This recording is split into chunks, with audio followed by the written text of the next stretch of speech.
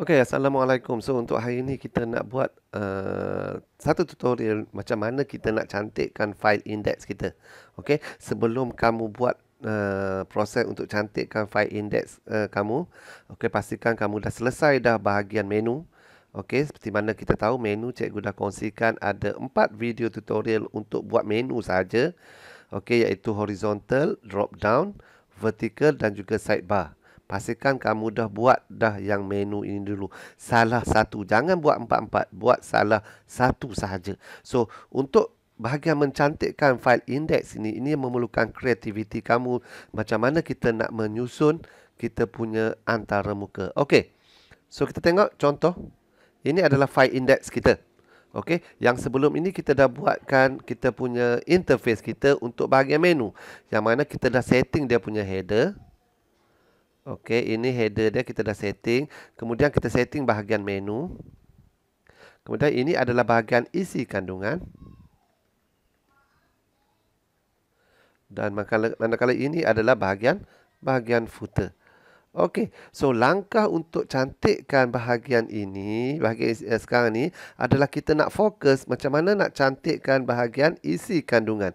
Sebab apa kita nak fokus bahagian isi kandungan? Sebab header, menu dan footer kita dah selesai. Dan ianya akan sama setiap kali kita tekan apa-apa dekat dalam dalam sistem kita. Kita login sebagai hakim, header, menu, footer sama. Kita login, tekan login, semuanya akan jadi sama. So sekarang ini kita nak fokus kepada bahagian isi kandungan sahaja. Okey, so pada bahagian index ini simple saja. Dia ada empat bahagian. Bahagian pertama adalah navigasi. Okey, pautan. Kemudian kita ada bahagian syarat pertandingan. Kemudian kita ada bahagian keputusan individu dan keputusan sekolah. So kita ada empat bahagian. So macam mana kita nak susun dia secara menegak, secara melintang. So macam mana terpulang kepada kreativiti kita. Okey, so kita tengok contoh sebagai contoh. Anda kata kamu, okey, ini kena show. Okey, so cikgu cuba besarkan yang ini. Okey. So anda kata ini kamu punya uh, interface tadi macam mana kita nak menyusun dia? So secara normal yang tadi ni yang kita tengok tadi tu okey yang asalnya dia macam ini. Okey kita tengok pautan, kemudian syarat pertandingan, kemudian keputusan individu dan juga keputusan keputusan sekolah susunan dia menegak begitu. So kamu boleh buat macam-macam terpulang kepada kreativiti kamu. Kamu juga boleh buat macam ni. Okey, keputusan individu sebelah sini, keputusan sekolah duduk kat sebelah sini. Pun boleh juga bergantung kepada kreativiti kamu. Pun boleh ataupun kamu nak buat lebih advance, lebih lebih canggih. Okey, kamu nak bagikan saat ini kepada tiga bahagian. Okey, ha, contohnya macam ini. Okey, ini sebelah sini. Ya, ini sebelah sini. Okey, ha, kecilkan sikit. Okey. Ha, kalau kamu nak buat macam ini pun boleh. So, sekejap lagi cikgu akan kongsikan macam mana kita nak buat. So, ada ruang kosong kat sini. So, ruang kosong kat sini.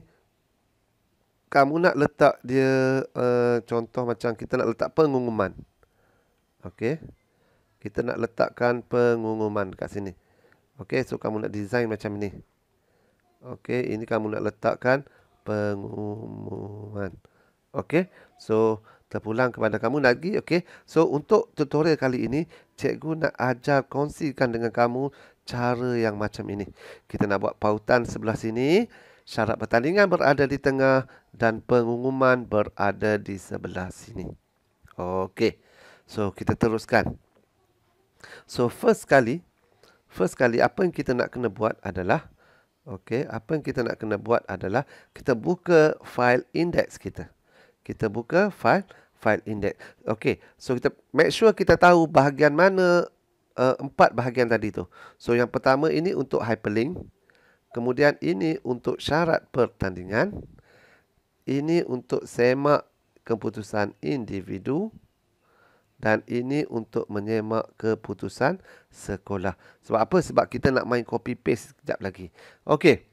So sebelum cikgu ajar, cikgu kongsikan dengan kamu, cikgu nak terangkan satu konsep di sini. Okey, cikgu nak terangkan satu konsep di sini.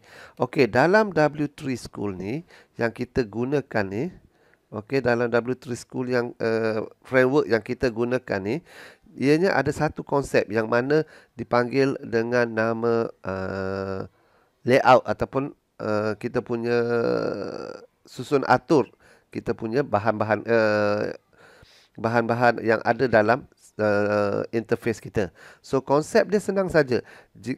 Ini screen kita. Contoh ini adalah screen kita. Okey.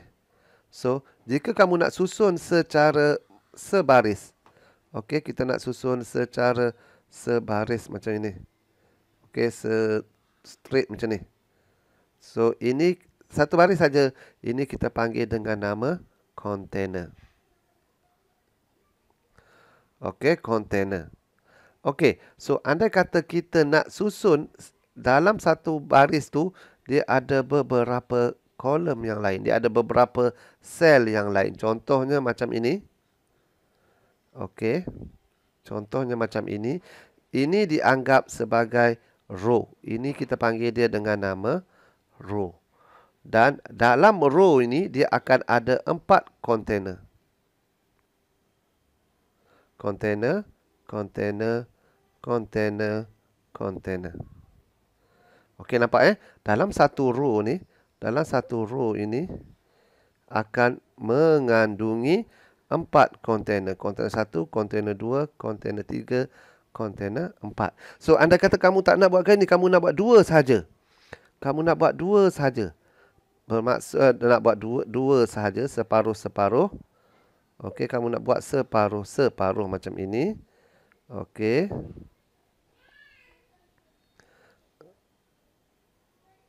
Okey, kamu nak buat separuh-separuh begini. That mean ini dalam satu row akan ada dua container. Container. Container. Okey, ini container pertama. Ini container ke kedua. So, kalau kamu nak buat tiga, sama juga konsep dia. Satu, dua, tiga macam ini. So, dia akan ada satu row dan tiga container. Container container, container. Okay, so kita tengok pula dari segi size dia. So dalam konsep ini dia menggunakan konsep pecahan. So bermaksud ini satu, semua ini adalah satu. So ini adalah satu per empat, satu per empat, satu per empat, satu per satu per empat. So ini satu per dua, satu per dua. So kalau kita tambah yang semua ini dia akan dapat total satu. Kalau ini tambah juga kita akan dapat total dia 1. So yang ini 1 per 3, 1 per 3 dan juga 1 per 1 per 3. Okey, so itu konsep dia. So ini adalah konsep dia. So jom kita buat. Kita nak buat yang konsep yang bawah sekali lagi. Yang bawah sekali ini. Okey, kita nak buat yang bawah ini dahulu. Then baru kita nak buat atas ini untuk kita punya keputusan. Okey, jom kita buat yang bawah sekali dulu. Okey, pada file index kita ni, okey pada bahagian atas ini kita nak start buat kita punya coding kita. Okey, so dekat mana kita nak rujuk coding ni? Kita boleh rujuk pada w3.css. w3.css. Okey, tekan enter. Okey, ambil yang atas ni sekali dan pergi kepada bahagian responsive. Okey, pada bahagian responsif ni. Dia nak bagi kat kita untuk macam mana kita nak handle kita punya layout. So yang ini yang kita bincangkan tadi. Nak bagi dua screen, okey, kita pakai satu per dua. So uh, kelas untuk satu per dua ni kita tengok satu per dua kita panggil W3 half. Okey, satu per tiga W3 third. Okey, satu per empat W3 quarter. So kamu boleh try lah dia akan bagi size yang size yang berbeza ataupun kamu boleh copy direct di sini. Okey, let's say kamu nak copy direct di sini pun boleh juga. So kita nak buat yang tiga, bahagi kepada tiga bahagian. Okey, so kita copy yang tiga bahagian ni. Cikgu copy dan cikgu paste di dalam file index. So ini bahagian menu. Kita tanda kita tanda dulu. Ini bahagian uh, pautan. Ini akan jadi bahagian syarat pertandingan. Ini akan jadi bahagian pengumuman. Okey. So selesai. So seterusnya apa kita nak buat kita try lah dulu kita tengok apa hasil dia. So bila kita refresh kita akan dapati nampak dia akan duduk macam ni. Tapi kalau kita nampak dia terlalu rapat di antara menu dan juga kita punya row yang di bawah ni. Okey. Jadi macam mana nak jarakkan dia? Nak jarakkan dia pada div row ni kita letakkan W3 tolak margin tolak Margin top maksud dia akan ada jarak sedikit pada bahagian atas. So bila kita refresh kita kena Okey. Ah salah eja pula. Okey, margin top sorry typo. Okey, ha, dia akan ada pautan pada uh, dia ada ruang sedikit dekat atas ni. Okey, so sekarang ni apa yang kita nak kena buat? Kita nak masukkan, kita nak masukkan kita punya kita punya uh, pautan dan juga syarat pertandingan ke dalam kita punya kita punya uh, kita punya uh, row. Ah, cikgu dah dah blur dah tiba-tiba. Okey, tak apa. Okey. Kita nak masukkan ini pautan. So, nampak? So, di bawah ini adalah adalah kod pautan. So kita copy kod pautan ni. Cikgu copy kod pautan ni, cikgu copy dan cikgu paste dekat sini. Paste. Okey. Ha, jadi kita boleh buanglah ni yang ni. Okey. Kita boleh buang dah sebab apa? Kita dah dah paste dah dekat dekat atas ni. Okey, kemudian syarat pertandingan. Cikgu copy, cikgu cut syarat pertandingan dan cikgu paste di bawah bahagian syarat pertandingan. Okay. So, then kita try. Kita try tengok. Kita refresh. Ha, dia dah jadi macam ini. Okay. Dia jadi macam ini. Okay, kita dapati bahawa ini dia terlalu besarlah saiz dia. Saiz dia saiz yang tidak tidak sesuai. Okey, sebab kita gunakan 1 per 3, 1 per 3, 1 per 3. Mungkin saiz yang lebih sesuai kita gunakan adalah 1 per 4 1 per 2 dan juga 1 per 4. So, 1 per 4 adalah kuarter. Okey, bahagian pertama kita gunakan kuarter. Okey, cikgu letak uh, W3 third ni kita tukarkan dengan W3 kuarter.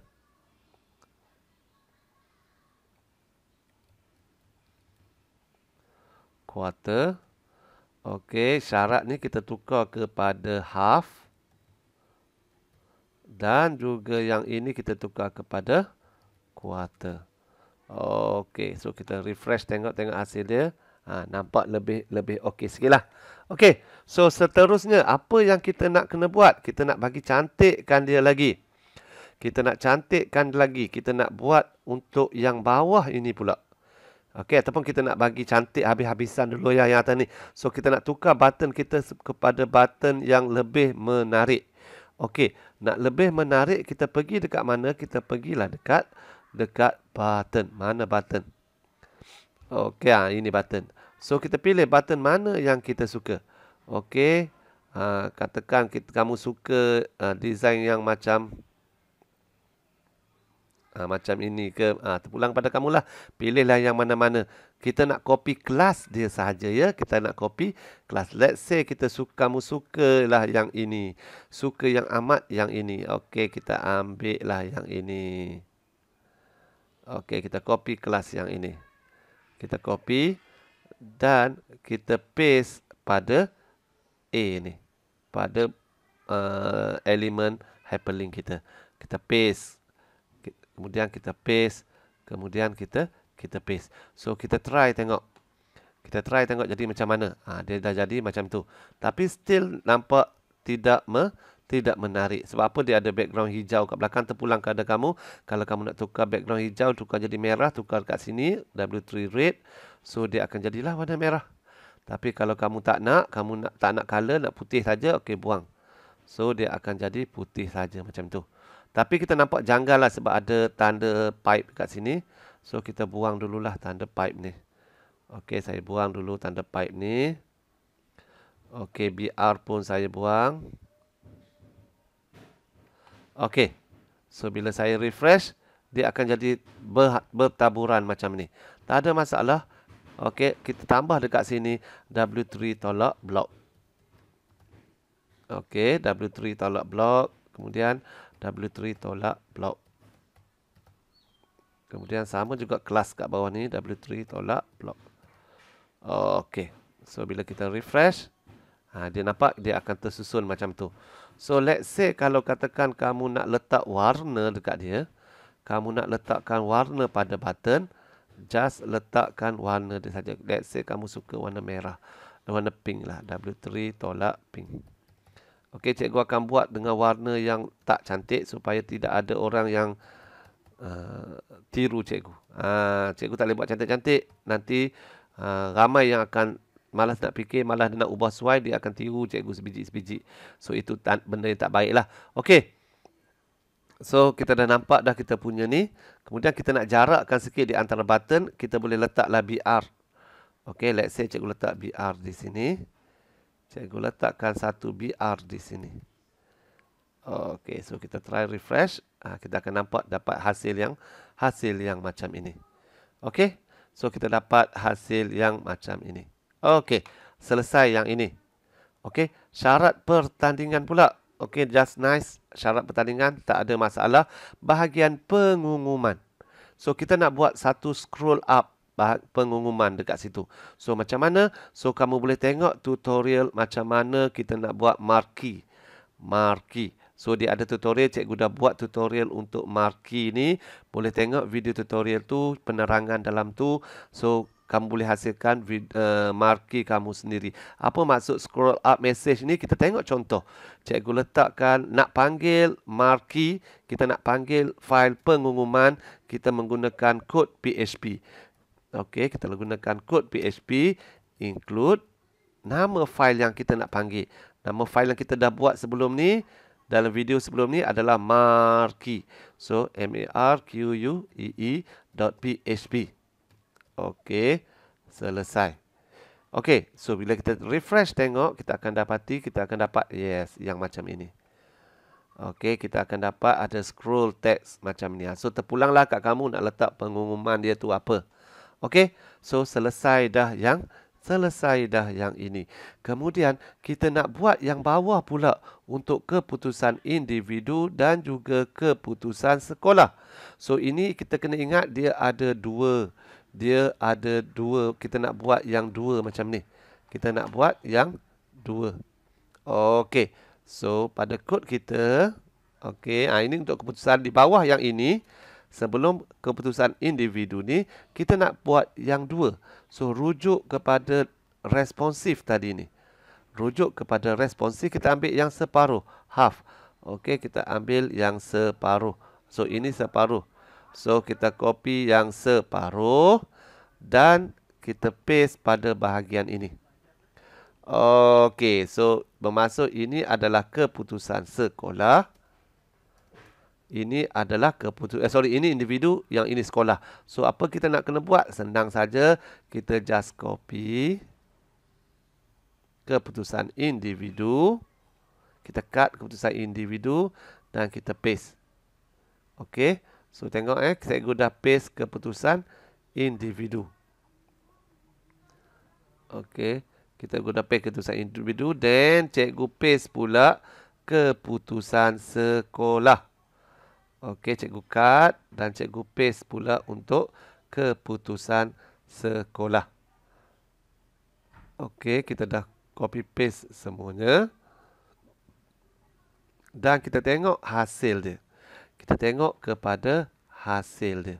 So kita akan dapat macam tu. Ini keputusan individu, ini adalah keputusan sekolah. So apa yang kita nak kena buat lagi ni? Okey, kita nak buanglah half W3 half. Ini pun kita nak buang warna dia. Okey, so kita nak buang warna dia. Okey. So kita dah nak buang dia punya W3 half tu. Okey, kita buang ya W3 half. Kita buang. Mana atas dia satu lagi? Ini pun sama juga W3 half pun kita buang. Okey, kita refresh. Okey, kita akan dapat hasil yang macam tu. So, kita try tengok. Kita try uh, bagi markah. Okey, kita try bagi markah untuk peserta. Kita try, kita tengok apa hasil dia. Okey, sorry. Cikgu patutnya masuk satu-satu. Bukan dua-dua macam tu. Okey. Okey. So, kita dah ada keputusan. Semua penilaian dah diberikan dan kita akan ada keputusan. Okey, so kita tengok pula bahagian indeks kita hasil dia. Okey, dia akan dapat hasil yang seperti ini. Okey, dia akan dapat hasil yang seperti ini.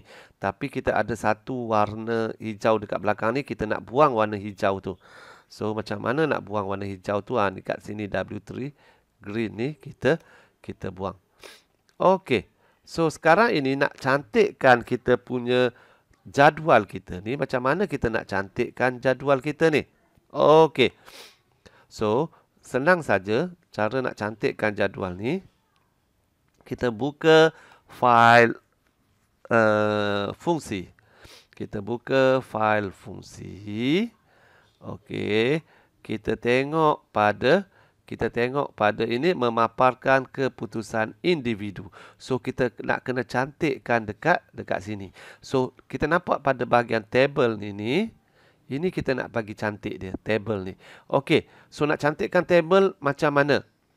Rujuk kepada responsif pergi kepada bahagian table. Okey, dekat sini dia ada macam-macam kelas untuk table. Kamu boleh pilih kelas-kelas yang kamu nak. Okey, so kalau kamu nak buat border macam ni pun boleh. Terpulang kepada kamu. Kamu nak buat warna-warni pun boleh. Tak ada masa, tak ada masalah. Okey, so kita ambil yang paling mudah. Dekat table ni kita letak kelas W3 tolak table tolak all.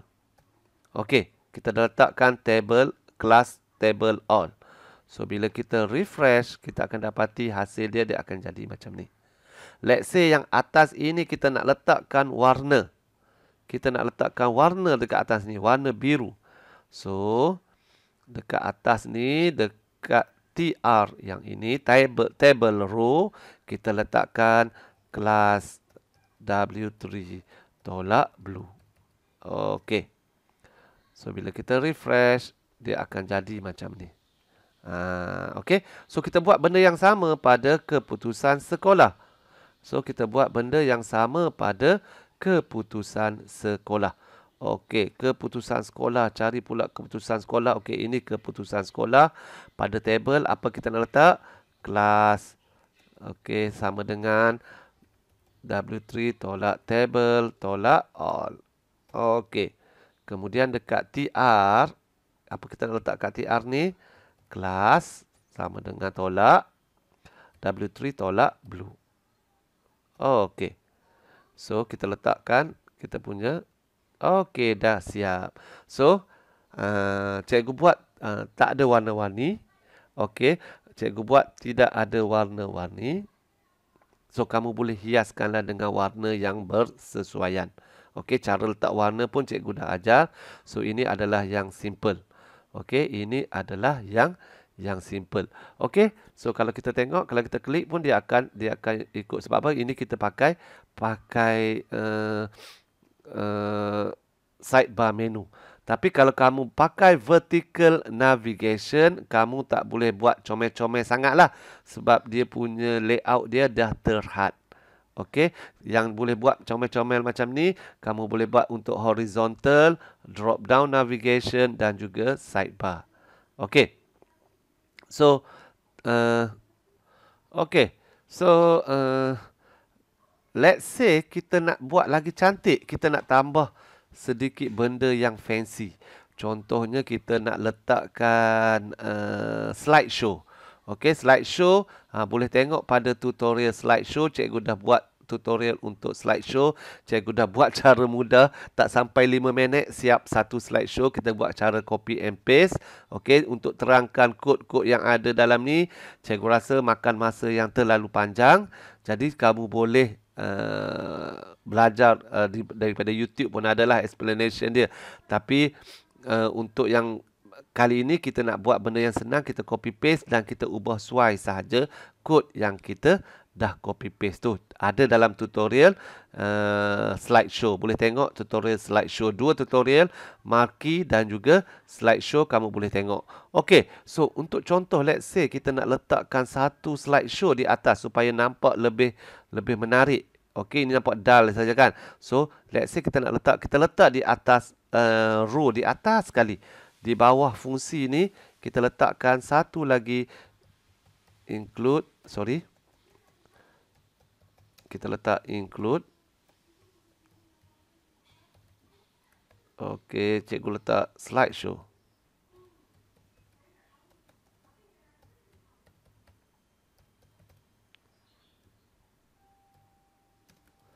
Okey, so kita tengok hasil dia. Kita tengok hasil dia. Ha, so kamu pun kita punya sistem kita akan jadi lebih kurang macam inilah. Okey, so anda kata kamu rasa serabut sangat dengan slideshow gambar ni. Okey, kamu tak nak slideshow gambar ni nampak terlalu banyak pergerakan.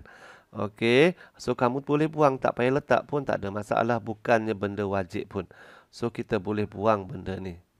Okey, kita boleh kita boleh buang. Okey, kalau kita buang kita akan dapat hasil yang macam ini. Okey, tapi kalau kita nak buat, kita nak letak, okey tak ada masalah boleh letak. Okey. So terpulang kepada kamu untuk design kamu punya interface sendiri. Okey, terpulang kepada kamu untuk design interface. Cikgu dah bagi uh, pelbagai kaedah untuk design interface. So, terpulang kepada kamu untuk design dan cikgu harap kamu dapat design dengan lebih menarik dan lebih menarik daripada apa yang cikgu dah tunjuk. Selalunya pelajar dia akan buat uh, memang cantik-cantik. Okey, dia akan design sendiri. So, uh, itu saja perkongsian untuk uh, kali ini. Kita berjumpa lagi di dalam video tutorial yang akan datang.